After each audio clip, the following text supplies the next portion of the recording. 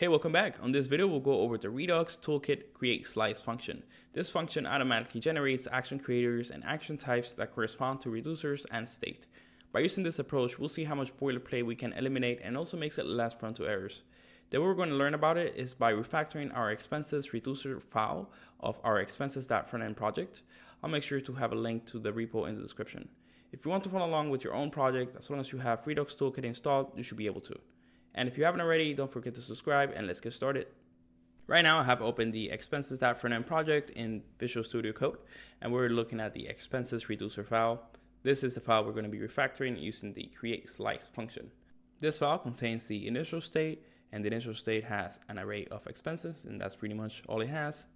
We have the action types, and the action types has set expenses. This is when the program first loads. It just sets all the expenses that are left in the database currently we have a new expense whenever a new expense is created, edit expense, and delete expense. Then we have our action creators, and lastly, we have our reducer logic. Let's start off by creating our expenses slice.js file. So let's right click on app, click on new file, and type in expenses slice.js. Our refactor code will go inside this file, and this is where we're going to make use of that create slice function. And it's called slice because essentially what we're doing is updating one specific slice of the state tree. In our case, we're updating the expenses slice. But for example, we could have other slices like user slice. I'm gonna do a split right, just so we have a better view of the code. Let's start off by importing create slice from Redux js slash toolkit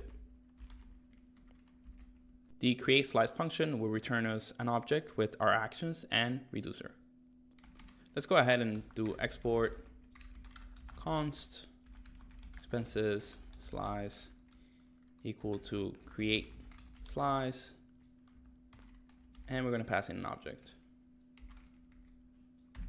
Now this object will include the initial state, the name of this slice of the state, and the reducers. Let's start off with name you can call it expenses.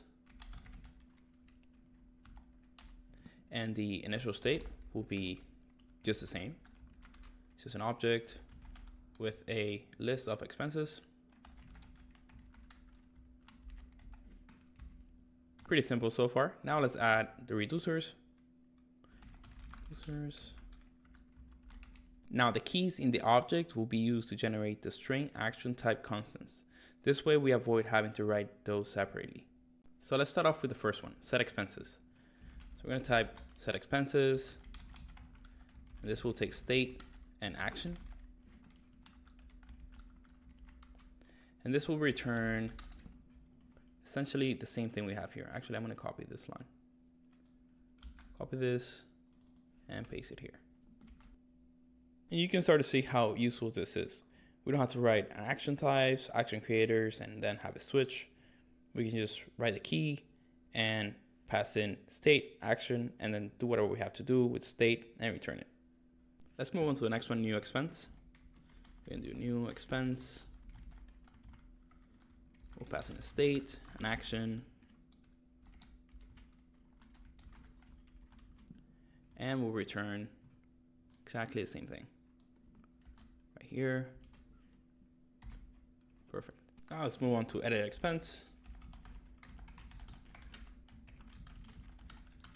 Pass state and action. And let's go over to edit expense and copy all this stuff. For better practice, let's change this to const. And now to the last one, delete expense. In state in action. And we go to the expense, copy this stuff, and we change this to const. And we're pretty much done with the reducers object. So like I said, the create slice function returns the actions and the reducer. So let's make sure we export that. So we can do export const set expenses new expense, edit expense, delete expense, and this will be equal to expenses. I have an extra space. Expenses slice dot actions. Perfect.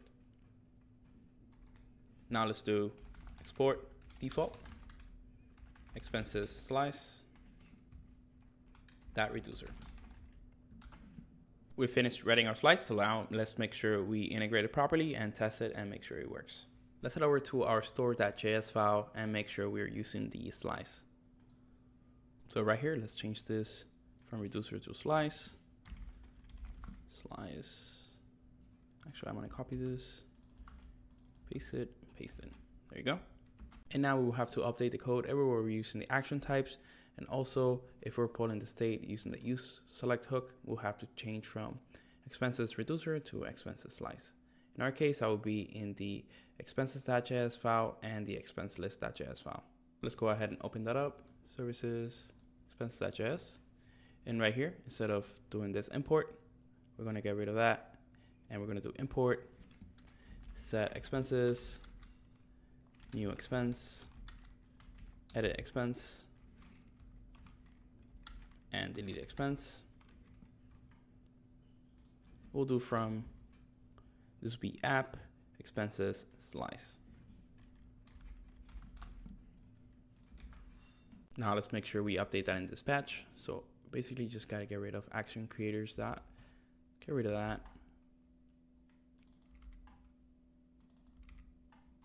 and save that file. And let's go to expense list and update this from expenses reducer to expenses slice. Save this file and let's make sure we run the application and that everything is working properly. Okay, now that our app is up, let's try to do an edit, save that and edit it. Nice. Credit card, $1, add.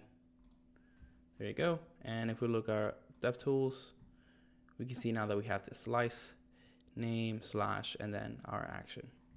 It's safe now to go back and just delete that file we don't need anymore, the expenses reducer.